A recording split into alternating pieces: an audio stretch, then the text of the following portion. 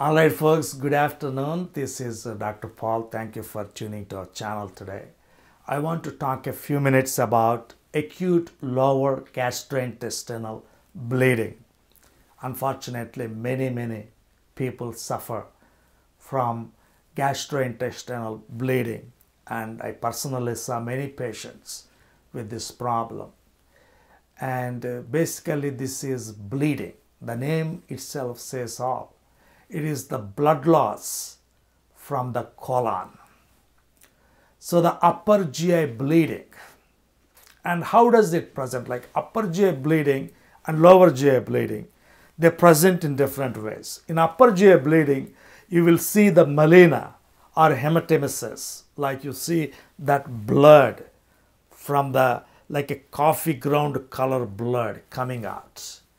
But in the lower GI bleeding, you might see fresh blood or maroon colored blood.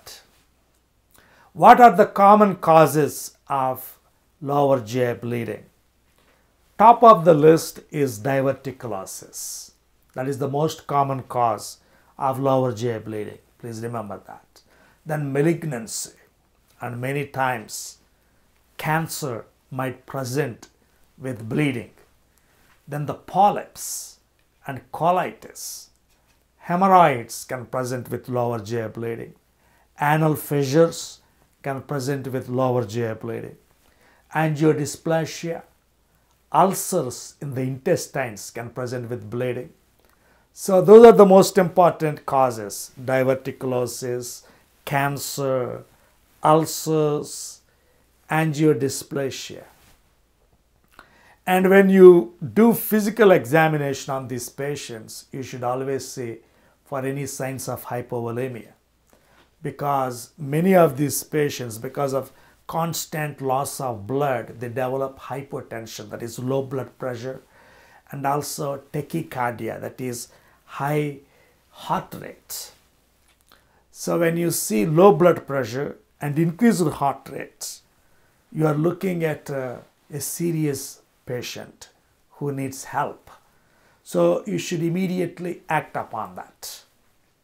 You should order some labs like complete blood count, serum chemistries, liver tests, coagulation studies. And also you should plan for anoscopy, sigmoidoscopy, colonoscopy. Recently we have CT angiography, looking for the bleeding vessel using a CT scan and there is also radionuclide imaging. So these tests will help you to see where the focus of bleeding.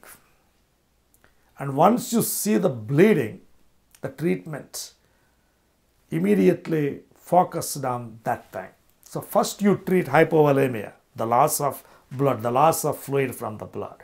Then secondly, you have to treat that exact focus of bleeding. So, so start with fluid resuscitation, blood transfusion, and then go for colonoscopy and then do the intra-arterial embolization. Sometimes if things fail, you have to go for surgery. If a major vessel is bleeding into the gut, you do laparotomy, just uh, pick up that artery which is bleeding, cauterize it and close it up. So basically that's, those are the most important things about lower GI bleeding. Remember that the most common cause of major lower tract bleeding is diverticulosis. And the initial examination of choice in the diagnosis and treatment of acute lower GI bleeding is colonoscopy. So colonoscopy is the gold standard because so many people are suffering from cancer and that can present as lower GI bleeding. So if you hear in an elderly patient that he has GI bleeding, some, some blood in the stools, you should always take it seriously and do what is necessary. So those are the important points I wanted to share with you. Thank you.